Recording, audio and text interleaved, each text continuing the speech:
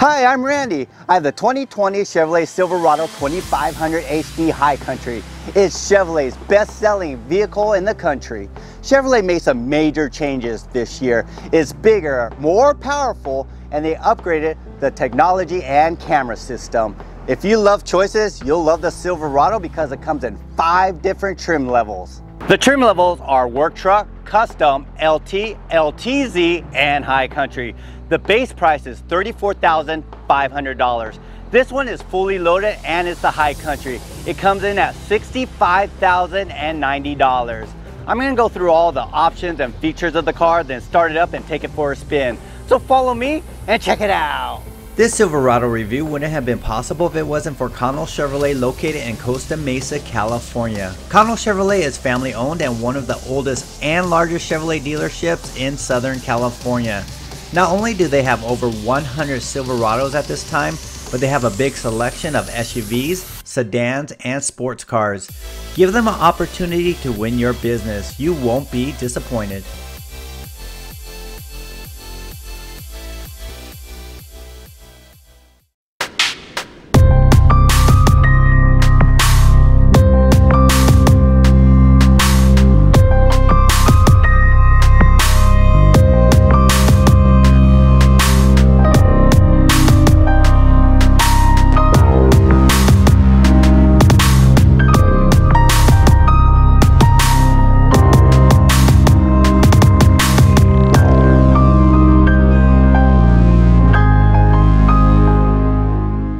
Brand new Silverado 2500 HD has a 6-speed, 6.6 liter direct injection naturally aspirated V8 gas engine that pushes out 401 horsepower and 464 pound-feet of torque.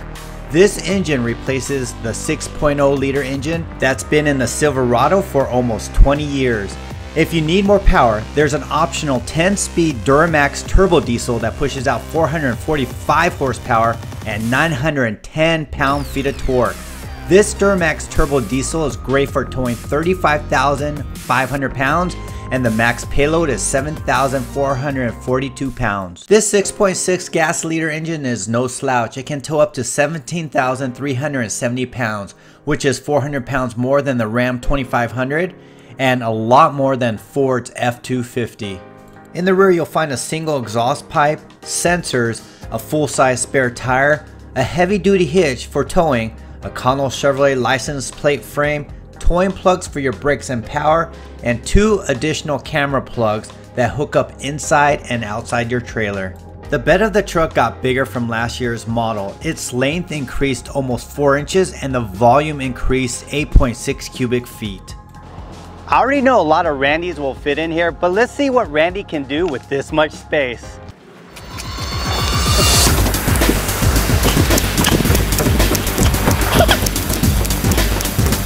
Jumpy jacks.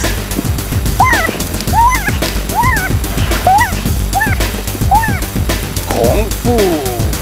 You like those sound effects? On your marks, get set. Sprint. Tennis anyone?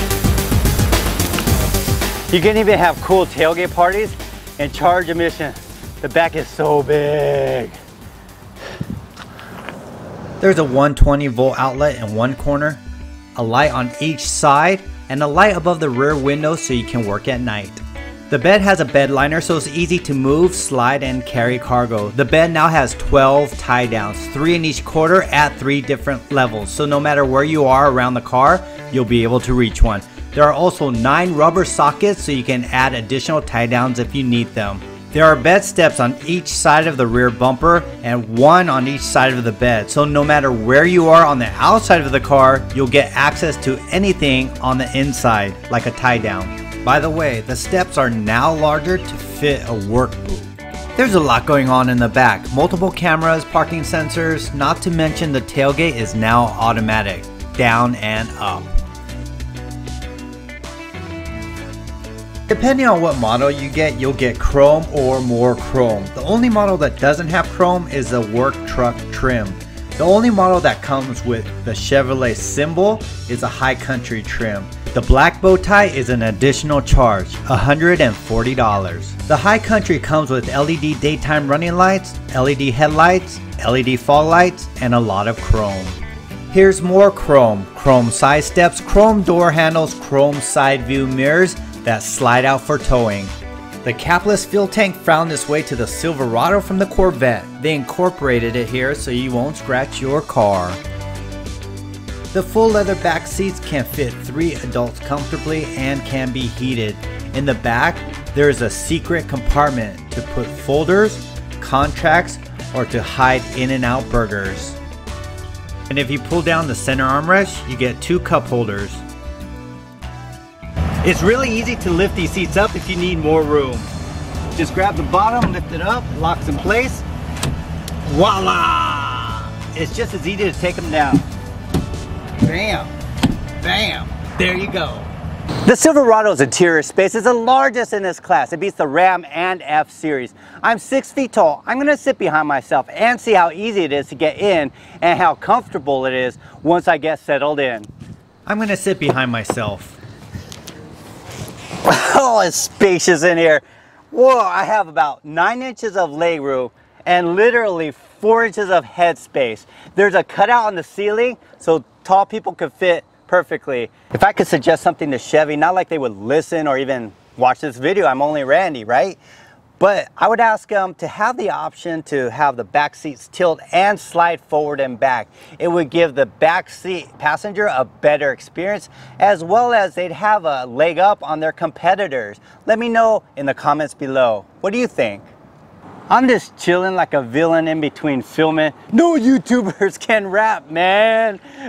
I want to say thank you to Connell Chevrolet and the general sales manager for making this happen. If you're looking for a heavy duty truck or any car for that matter, come down to Connell Chevrolet in Costa Mesa, California and give them an opportunity to win your business. The information to the dealership is in the description below. The interior of the 2020 Silverado isn't groundbreaking. If you're familiar with the previous Silverado's interior, the 2020 will look familiar. Everything is easy to read, reach, and use. It has full leather seats with some soft materials on the dash and doors. There are lots of square shapes and corners in the design of this car. It can feel a little outdated, although I gotta say, the technology is totally the opposite. For the 2020 model, Chevy added a center digital instrument display and the speedometer and tachometer are analog. On the left side of this leather wrapped steering wheel, you'll find the cruise control, heated steering wheel, and forward collision alert button. Behind that is the turn signal stock with the windshield wiper controls. On the right side of the steering wheel, you'll see the controls for your phone, a roller for your instrument cluster, Behind that is a transmission shifter with plus minus buttons to manually switch your gears. At the top you have your tow modes. Below that you can choose from two wheel drive, four wheel high, four wheel low and auto drive mode. At the bottom are your controls to all your lights.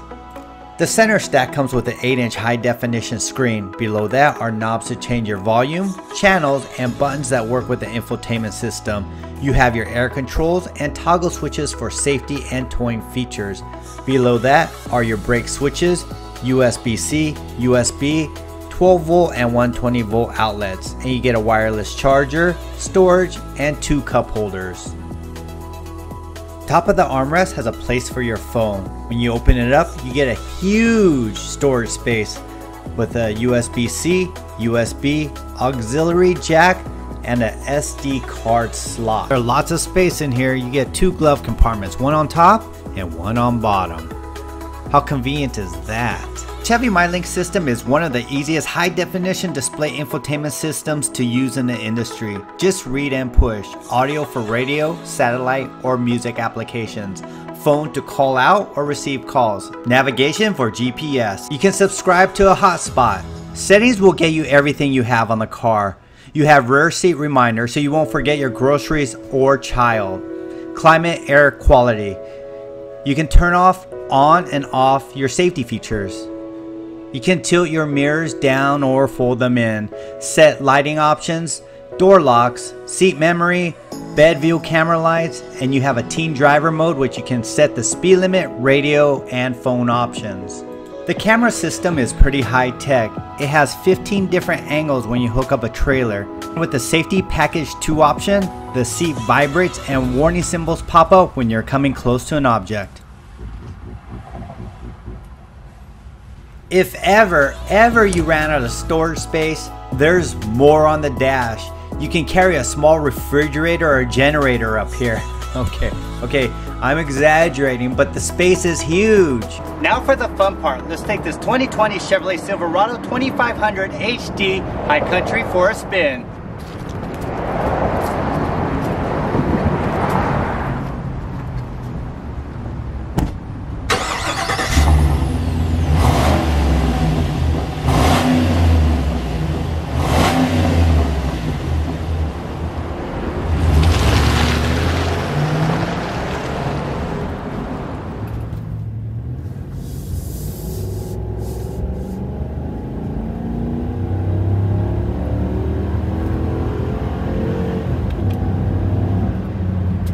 So here we are in the 2020 Chevrolet Silverado 2500 HD High Country.